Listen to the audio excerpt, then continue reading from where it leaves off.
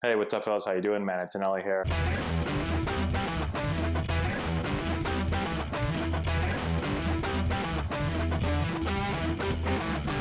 Hey, what's going on, guys? How we doing? Man Antonelli here. Today we're talking some more recruiting.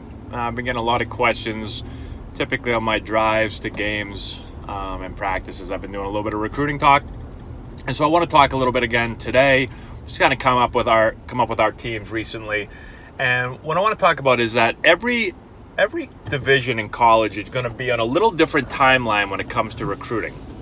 So the division 1 level, they're going to they're going to have first dibs at guys, right? They're going to be signing guys earlier than any other division. So, you know, at the division 1 level, you're going to see guys, you're going to see students, student athletes after their sophomore year of high school, their rising junior uh, summer start to sign division one okay? And you may even see guys go earlier than that if you're a really really really good player going to a really good school you may see guys going before that. But i'd say typically guys are going to go you know right when that sophomore summer or that sophomore season of high school ends during that summer that's when a lot of guys are going to start to commit d1 and that's going to continue to go all the way for the next year. And so there's still, you know, when your junior year of high school ends, that junior summer, there's still going to be some Division 1 teams looking for players. Okay? And again, it depends on the level of D1. Um, you know, upper levels of D1, if you're looking at top top schools in the country, they may be pretty much done at that point. Um, but as you go down a little bit in Division One, you're going to see a lot of schools still still recruiting. So players think it's it's done and over by their junior summer. It's not at all. You can still go Division One. We've had plenty of players go and play Division One um, and commit during you know right before their senior year, their rising senior uh, summer. So that's number one. Number two is what players get confused at is when they don't get you know they end up not getting any Division One offers. They're like, oh, am I not playing college baseball? I, like I'm done. I, I'm not going anywhere. Schools are done. Division two and Division three schools are not done at that point.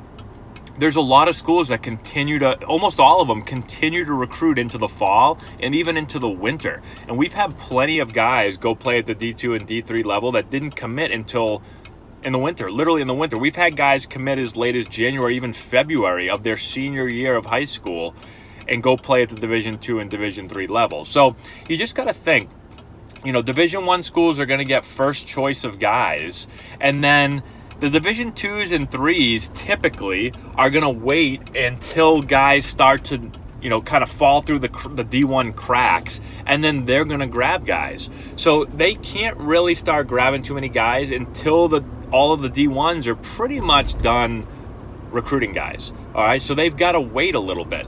So it's going to go in that order. It's going to start at the ones and then start to go down from there to the twos and the threes. So don't think, you know, when you're, even when your summer is ending and you're about to become a senior, if you haven't committed yet, don't think like, oh, I, am not playing college baseball. It's all over. There's still plenty of time to be seen.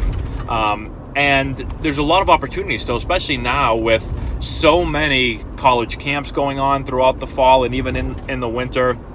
Um, they've got all kinds of stuff. They still have lots of showcases around.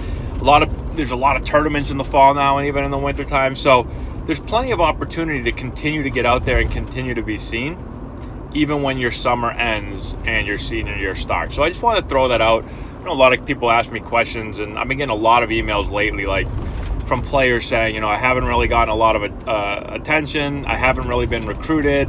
You know, is it basically am I done? Am I am I not going to play college baseball? And the answer is no. You still got time, and you could sign for a while. Like I said, teams are still looking up, in, even into the winter. So, um, let me know if you guys have any more questions in the comment section below. Subscribe to the channel, share the video with all your friends, all that good stuff. Uh, check out the description box below. We've got a deal going on with Plate Crate where if you click the link and type in Antonelli, you'll get 50% off your first plate crate. We also have a link to our Patreon page where you can help support the channel. Thank you so much as you already do. We've had more and more people do that recently, so thank you very much for that. We also have a bunch of other stuff down there as well, so definitely check all that out. And that's all I got, guys. Thanks so much for watching. I appreciate it, and we will talk to you later.